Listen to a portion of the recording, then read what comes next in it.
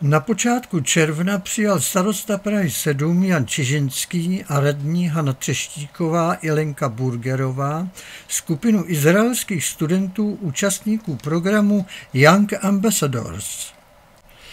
Součástí programu Young Ambassadors byl také pětidenní výlet do zahraničí, tentokrát do Prahy. Na setkání se starostou se studenti zajímali o široké spektrum otázek spojených s vedením radnice a rozvojem Prahy 7.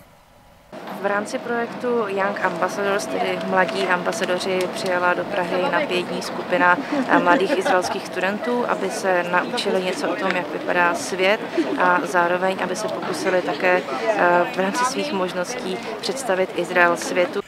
Program si klade za cíl nejenom vzdělávat, ale také vychovávat mladé lidi, studenty vyšších ročníků středních škol a vést je k důležitým hodnotám společenské zodpovědnosti, pracovitosti, nezištnosti, soucitu a empatii a také porozumění a toleranci.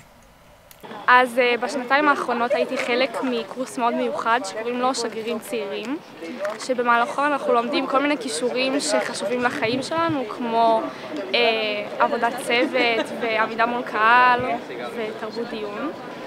והשיא של הקורס זה בעצם טיסה לחו"ל כדי לעשות הסברה על ישראל וכדי ליצור גשר תרבותי בין ישראל לבין מדינות אחרות. Během svého pobytu v České republice navštívili mnohé památky, ministerstvo zahraničí, parlament a setkali se s mnoha zajímavými osobnostmi.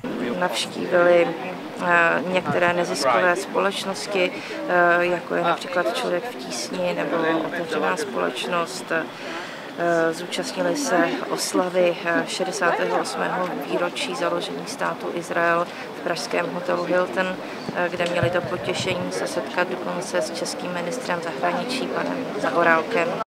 Teď na samý závěr pobytu chtějí dát Praze najevo, že jim na našem městě záleží a proto se rozhodli dobrovolně pomoct s úklidem parku Stromovka. בוא תראו את השניים הולכים ולא אומרים את כל הזבל.